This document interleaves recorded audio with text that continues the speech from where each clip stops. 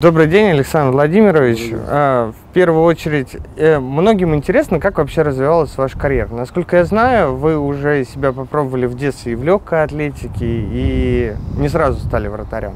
Ну,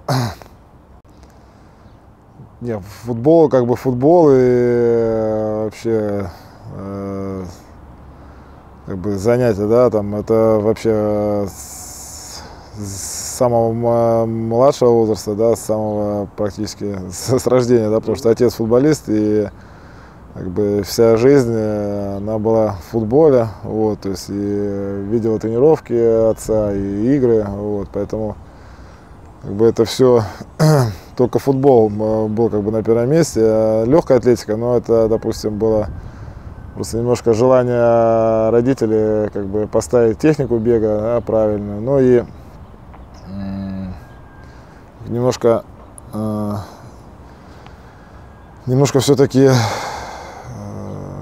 добавить какой-то, так сказать, э, Ну, физики, может быть. Физик, да? ну не то, что физики, да, а скорее просто потому что тренировок было в, в том возрасте, в 7-8 лет, там это было две тренировки, да, в неделю, и э, чтобы, чтобы еще какая-то физическая активность была, вот, э, была легкая атлетика. Ну и плавание занимался, но плавание занимался тогда, когда у меня был период, когда я футболом не занимался, ушел э, с футбольной школы, вот, потому что как бы тренер, тренер был так не очень хорошего качества, и мне не, не нравилось, да, в этой, школе заниматься, поэтому я ушел оттуда. И вернулся уже, когда отец, когда отец там стал, стал тренером э, в этой школе, вот э, опять вернулся в школу. Вот так что можно сказать, что и попробовал, да, где-то. Ну и все равно в любом случае, да, это в, в- плюс было, не в минус. И какие-то навыки, да, то, что я умею плавать, э, э, когда есть э, техника бега, есть э, когда техника прыжка, она Помогла ну, потом уже помогает, в да, карьере. да, да. А изначально хотели быть вратарем? Ну, в принципе, такого как бы вот, э, вот что вот все хочу вратарем, нет. То есть хотелось, хотелось играть в футбол, как бы. Это потом уже с, э, с каким-то со временем, да, пришло понимание, что хочется быть вратарем, вот, и это было нисколько не изначально, вот. То есть и в поле играл, и в воротах, то есть как-то вот э, пробовал себя и там, и там, и как-то вот э, понял, что мне больше нравится в воротах, больше нравится э, ловить мячи, отбивать, вот, защищать, поэтому вот так и стал вратарем. Свой первый матч помните? Какой? Ну, уже вот профессион- на профессиональном уровне. А, ну, как бы официальный матч? Да, официально. Ну, честно говоря, не очень, э, не очень помню. э, Помню неофициальные матчи, там, допустим, это был э, еще 90-й год, э, команда Заря Бельцы, вот мы э, проводили товарищеские матчи с командами из Румынии, вот, э, потом еще была э, товарищеский матч с командой из Болгарии, вот, вот второй тайм э, я играл вот, э, вот в таких товарищеских матчах, как раз вот международных матчах, и там старшие товарищи шутили, что я играю только международные матчи, вот. А вот э, как-то вот уже официальный, да, там в чемпионате СССР э, второй лиги в 91 год, то, честно говоря, не осталось в памяти, вот как-то не отложилось. А, Для вас а, в вашей карьере самый главный опыт это, наверное, все-таки московский Спартак. Ну, не, не могу сказать, что опыт, да, опыт он как бы Ну, не опыт, а самый, наверное, может быть, один из главных клубов, который... Ну, естественно, да. естественно, конечно, конечно. Это и, и, ну, я болельщик Спартака, да, и поэтому это мой любимый клуб, и, э, конечно, это самые, самые яркие воспоминания, да, то есть э, шесть, шесть чемпионств, вот, много побед, много хороших матчей, поэтому, конечно, Спартак это на первом месте, да. А, Когда играли, вообще, когда приходили в Спартак, думали ли, что станете одной из икон фактически московского «Спартака», особенно 90-х лет. Ну, потому что, э, допустим, я в своей молодости, да, когда вставали на ворота, кто-то там вставал на ворота, всегда говорили, что вот Филимонов, я Филимонов, как так все это было? Не, не, не, не думал, не, как-то у меня таких мыслей, конечно, никогда не было. Просто выходил, играл. Э. Я думаю, что мало, мало, ли, мало кто думает, э, выходя на футбольное поле, о том, что стать, стать иконой. То есть э, футболисты выходят играть и приносить удовольствие болельщикам и самим получать удовольствие. Вот, так что думаю, что это, наверное, на последнем месте у многих футболистов, да, практически у всех, желание там прославиться. Хотя, а... хотя наверное, такие, такие есть, наверное. А, если поговорить о том, э, вы тренировались под руководством Романцева. Что для вас по, ну, работать с этим человеком, потому что считается одним из лучших тренеров вообще российских?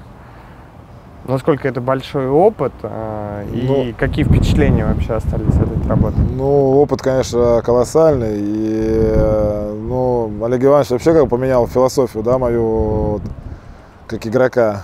Вот, потому что только максимальный результат, только, только победа, там, то есть никаких там компромиссов в виде ничьей, да, несмотря на на любого соперника, вот, то есть э, на любую игру выйти и, и обыграть противника. Поэтому вот, э, вот это изменение психологии, дух победителя, который прививался, да, вот, конечно, это его э, первоочередная заслуга, потому что там, ну, грубо говоря, выходишь там, против Интера, все, все равно, то есть э, нет мысли о том, что там сыграть ничью, нет мысли о том, чтобы как-то там отбиться или еще что-то, то есть э, сохранить какой-то нулевой счет. То есть э, всегда, несмотря на любой, с Реалом, там, с Арсеналом, то есть всегда желание выиграть, желание победить.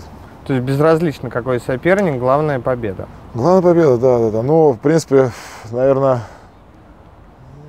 так и должно быть, да, что если для чего там выходить на футбольное поле, там, ну, чтобы сыграть ничью, но С, смысл какой ничья, работы, да, да, конечно, есть. Э, но э, в моей как бы жизни, да, и были такие моменты, что там выходишь на поле, да, там и там вот э, как-то сыграть там в ничью, допустим, ну, крупно не проиграть, да, допустим. Но это, опять же, команда немножко другого уровня, да, и но есть еще турнирные какие-то цели бывают иногда, когда играешь в плей-офф Лиги Чемпионов, и когда уже есть один хороший результат. Ну, можно... возможно, да, возможно. Хотя, опять же, да, все равно, все равно в той же Лиге Чемпионов, все равно э, желание выиграть, желание победить, оно, оно на первом месте стоит. И ни в коем случае никаких там компромиссов в виде э, там, каких-то деления очков там, и там, удержать какой-то ничейный там результат. То есть такого никогда не было. И, и у нас даже, то есть мы даже становились чемпионами, да, и не радовались, там, если мы сыграли в ничью, вот, э, мы стали чемпионами в каком 90, э, не помню, в 99 году, по-моему, сыграли в ничью с Динамо 1-1, то есть, ну, особо радости не было, да, то есть, э, ну, да, стали чемпионами, mm-hmm. завершили как бы сезон. Сезон, ну, он еще не завершился, но там мы, по-моему, за два тура стали чемпионами. Mm-hmm. Да, ну, а какой-то осадок такой, да, что вот сыграли в ничью 1-1 и не было такой как бы вот большой радости. Вот. Поэтому вот это поменяло менталитет, поменяло вот восприятие футбола именно Олег Иванович. Это... Um если поговорить вот именно о «Спартаке» и в вашей карьере там, какой из матчей, наверное, запомнился вам больше всего? Были ли такие матчи? Ну, много было хороших матчей, я не могу выделить, то есть как бы там можно по годам, допустим, да, там в 96-м э, золотой матч там с Алани. Да, с Алани. А вот, кстати, вот если поговорить об этом золотом э, матче с Аланией, насколько вот чувствовалось такой вот нерв этой атмосферы того, что это вот первый золотой матч фактически был в чемпионате России? Ну, мы, честно говоря, не, не чувствовали. Мы, вот у нас как-то такого не было, там у нас накачки какой-то еще, то есть не было какого-то там вот ажиотажа как-то. Ну, это может быть для болельщиков, да. Вот. Для нас как-то мы выходили, понятно, что да, там золотой мяч, матч, да, понятно, что Э, Нужна только победа. Нужна победа, да, и мы к этому весь год шли, вот. Но как-то вот такого какого-то сверх какого-то, да, напряжения не было. То есть, и, и понятно, что необычный матч, да, но вот то, что э, как-то помешать могло, этого не было. То есть, наоборот, э, было такое Помогало, что, да. да, да, да. Вот. А там, если... Ну вот опять же, да, если вернуться к вопросу о том, что какие матчи там, да, там, если 97 год, э, то есть э, матч с Ротором, опять же, практически золотой, да, и хотя нас устраивала ничья, но вот мы, опять же, да, вот э, психология победителя, что мы не играем на ничью, мы играем на победу, вот, поэтому Александр Владимирович, а вот э, вы когда в 96 году выигрывали чемпионство, у вас фактически была очень молодая команда. И перед началом сезона очень многие говорили о том, что вот как с этими ребятами можно выиграть вообще чемпионство.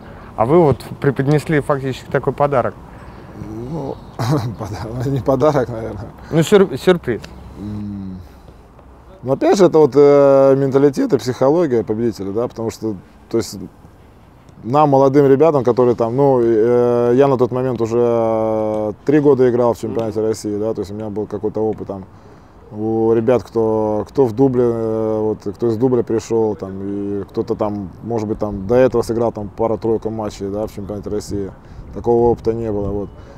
И мы никого не боялись, мы выходили играть в футбол, действительно, да, и обыгрывать любую команду, да, того же, того же чемпиона на тот момент, там, Аланию, там, да. в Москве обыграли 4-1. Но опять же, э, с другой стороны, э, у нас не, не такая уж как бы молодая, что вообще одни молодые были ребята, да, были и Андрей Пятницкий, и Цимбаларь, и Никифоров был, еще первый круг играл, и, ну, естественно, Сергей Горлукович, Андрей Тихонов, то есть уже Э, Дмитрий Анатольевич, да, вот, то есть люди, которые там в Лиге Чемпионов играли уже, то есть э, опыт есть и какой-то, может быть, сплав опыта, да, и молодости какой-то, да, то есть... Э, Собственно, и дал результат, наверное. Да, хотя, хотя действительно, да, на тот момент у нас была самая молодая команда в чемпионате, вот, но, опять же, тут может Тут, быть, еще юношеский максимализм? Не, нет, не юношеский максимализм. Э, это именно вот э, дух победителя, именно вот э, желание выиграть в каждом матче, то есть независимо от соперника. А как вы считаете, может быть, сейчас Спартаку как раз и не хватает вот этого духа победителя? Ну, конечно, не хватает, конечно, не хватает. И ну, тут много от тренера зависит, да, если не все. И, потому что и тренер подбирает этих футболистов, и он э, с ними работает, он с, с ними общается, вот, и то есть понятно, что и футболисты должны, да, там, э, там нельзя все сваливать там на тренера, да, что тренер что-то не, не так делает, потому что с такими зарплатами, с такими, как бы, ну и все футболисты квалифицированные, вот, и играть так, э, так э, безвольно, вот, ну, это неправильно. А вы, по, по, уход из «Спартака» для вас э, это серьезный какой-то шаг был? Конечно, серьезный шаг, да, и ну, хотелось, хотелось поиграть за границей, вот, и я Олегу Ивановичу сказал, в начале, в начале чемпионата в 2001 году, что хочу поиграть за границей. Вот. Ну и он сказал, что как бы если команду найду, там препятствий чинить не будет. Mm-hmm. Вот. Ну. На тот момент возник, возник вариант с киевским «Динамо». Ну а вот после киевского «Динамо» в киевском «Динамо» по сути же ведь не очень задалась, наверное, карьера. Ну, конечно, да, конечно. А после киевского «Динамо» не было желания, может быть, повесить даже бутсы на гвоздь? Молодой был, как... Не, ну есть некоторые, вот тот же Сапогов. Не, а. ну, ну это какой-то, как бы, как бы это сказать, там, это исключение, наверное, из правил. Ну да. Поэтому никогда не, не возникало желания повесить э, бусы на гвоздь, ни, никогда там, ни, никогда там э, не было каких-то предложений, ни, никогда там э, какие-то были неудачные периоды, да, когда там вообще э, практически без игровой практики не было. То есть э, такого, такого желания, такого, таких мыслей не, не было. Мне никогда не было. А в пляжный футбол, когда попали, как вообще там оказались, собственно? Ну, много раз рассказывал. Э, президент э, футбольного пляжного локомотива меня туда пригласил. Вот, и вот так вот То есть, причем э, делать такой с небольшой с целью, как бы немножко с такого пиара, да, mm-hmm. вот. Ну вот все, все, у меня там неплохо получалось, и, то есть оказалось, что еще и сборную вызвали, вот, поэтому. А, самое, наверное, запоминающееся это победа на чемпионате мира. Да, вот из, из пляжного футбола. А вот как вообще пляжный футбол, футбол обычный? Это же ведь, по сути, это две разные вещи.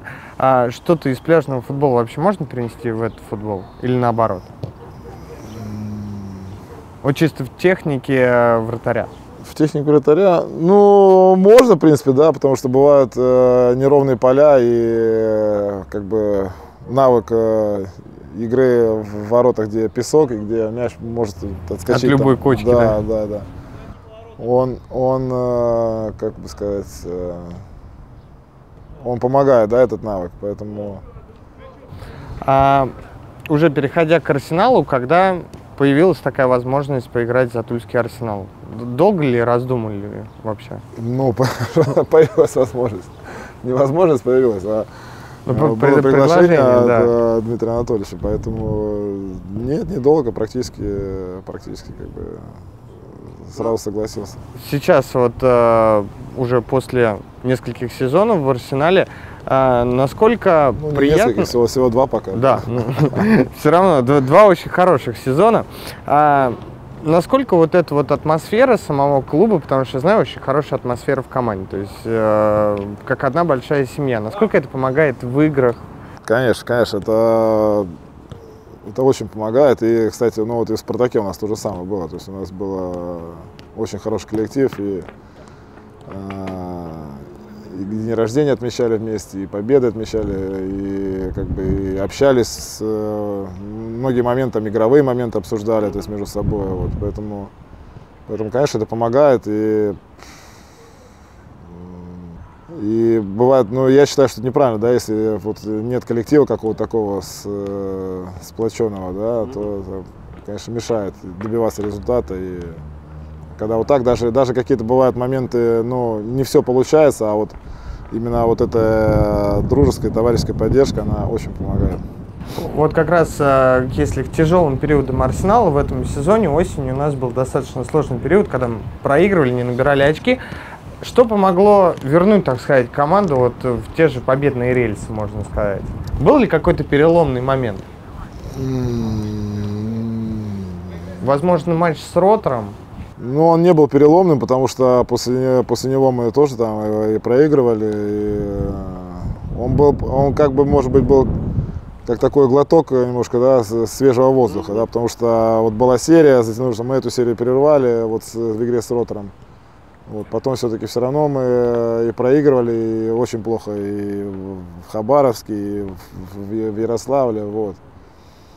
Потому э, в, том, в тот момент, да, в тот период э, нужно было очень, очень сильно перетерпеть, очень сильно ну, ну перебороть себя, наверное, да? Ну и себя перебороть, да, в первую очередь, наверное. Ну и, и вот э, даже несмотря на то, что там все, не все получалось, э, в каждом, в каждом моменте, я ребятам говорил, и Анатольевич говорил, что в каждом моменте пытаться выжимать максимум, да, и даже, э, даже вот такая не очень по качеству хорошая игра с, э, с Дзержинском, с Химиком, да, ну вот за счет желания, за счет старания, там, и поле не очень хорошего качества, да, вот за счет вот этих качеств характера, да, удалось выиграть, и, ну, я думаю, э, ну это помогло вот, дальше? Это, вот эти три очка, они, mm-hmm. в принципе, очень, э, очень, очень оказались нужны. Ну и, конечно, это, конечно, очень, э, очень вовремя да, наступила эта пауза. То есть э, произошла некоторая перезагрузка, да, и ребята новые появились в команде, и сборы провели немножко по-другому, да. Вот, и ну, судя по тому, как да, весной да, играет да, команда, да, сборы да. прошли отлично. Да.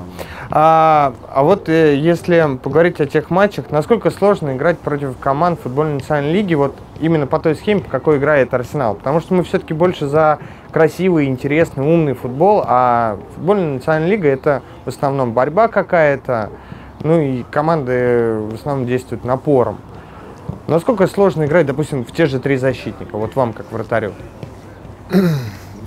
Работы же ведь, наверное, только добавилось, по сути.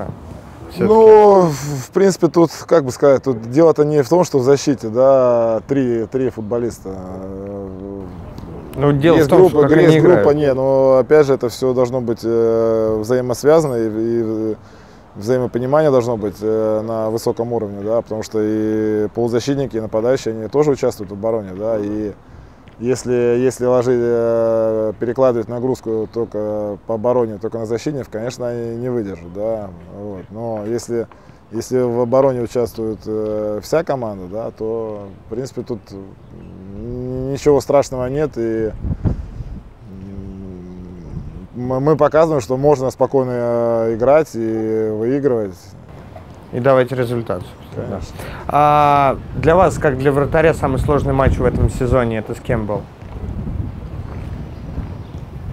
Или несколько таких, может быть, матчей было? Ну, я думаю, в Хабаровске, наверное. В Хабаровске очень тяжело было. И, наверное, наверное самая неудачная наша игра. Вот это в Хабаровске. А вот сейчас э, матч с Нальчиком был достаточно, ну, было несколько серьезных моментов, когда, откровенно говоря, спасали.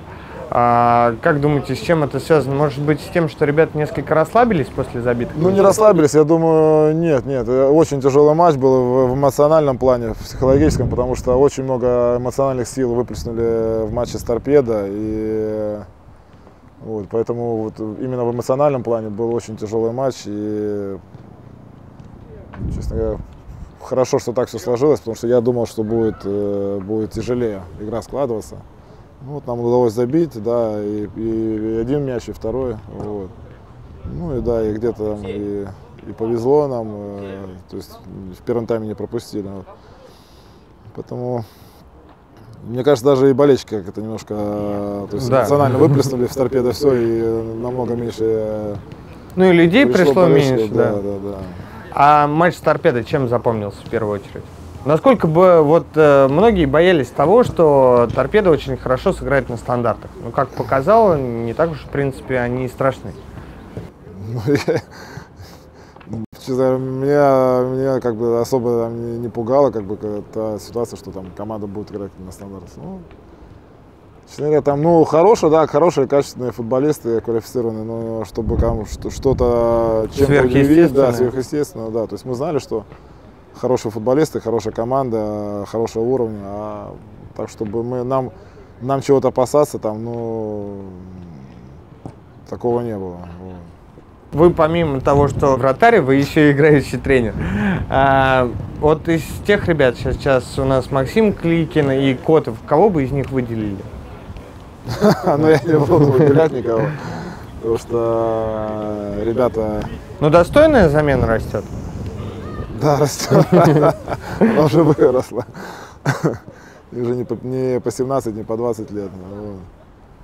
А, опять же, да, выбор был сделан в их пользу в свое время, да, вот и перед э, чемпионатом ФНЛ.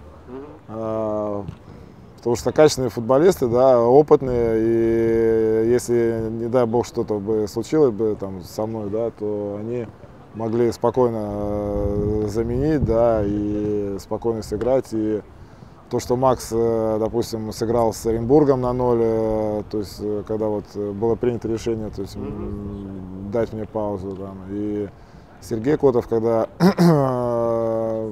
я по дисквалификации пропускал, то есть, они достойно сыграли, и к ним как бы вообще никаких ни вопросов, ни претензий нет, только, только наоборот, как бы в сложной ситуации вышли и сыграли достойно. А, несколько последних таких вопросов. А, многие болельщики, ну так, а, иногда с опаской смотрят, как вы мяч в своей штрафной, там, допустим, жонглируете или там... Ну, не жонглирую. Ну, не жонглируете. Ну, да. Финт показать. Да, да, да. Но это, это вот больше психологический какой-то момент к сопернику.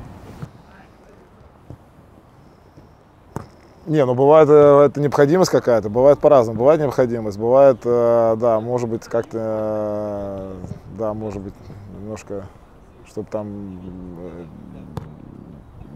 больше пробежал там соперник, да, то есть, допустим, там, вот, то есть, ну, Все это такие большому, та- большому счету, да, уловки. ну, там, да, может быть, и уловки, может быть, может быть, да, и псих, психологию какую-то там, вот, потому что я понимаю, что болельщикам это нравится, да, хотя, то есть, как вы говорите, что они переживают, но я так понимаю, что Ну, все уже привыкли, наверное. да, да, ну, хорошо. Вот, поэтому по, по большому счету, да, это все-таки какая-то где-то необходимость, а не, не желание там просто как бы повеселить публику. А чем вообще занимаетесь в свободное время? Ну, насколько я знаю, вы любите читать. Ну, читаю, читаю, музыку слушаю, но в основном телевизор, то есть э, футбол, э, матчи, э, так что А есть какая-то команда, которая в Европе именно нравится? есть, да, Спартак. А кроме, а кроме Спартака? Ну так вот, симпатию кому-то испытываете? Ну, как, э, когда меня спрашивают, э, там вот играют какие-то команды, да, там за кого будешь болеть? Я говорю, ну я болею только за одну команду, вот.